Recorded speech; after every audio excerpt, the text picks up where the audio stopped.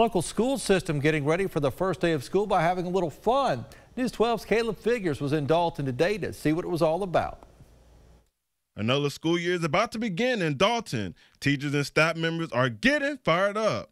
At Tuesday morning employee convocation, 1,000 folks came together to celebrate and kick off competition for the Spirit Stick. Today we had convocation. It's the first day back for teachers. We always like to get together, celebrate our classified and our certified uh, employees of the year and celebrate them and just kind of kick off the school year. And it was a great day.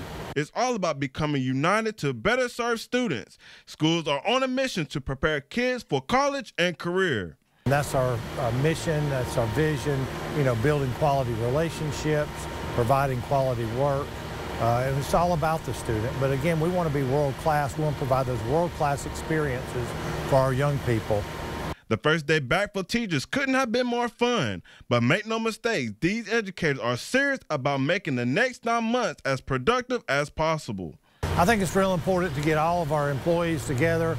Uh, they uh, have an opportunity. They don't always get to see each other from school to school. It gives them that opportunity. And then it also helps us make sure that we're focused on what's important, and that's our students of our district. Reporting in Dalton, Caleb Figures, News 12.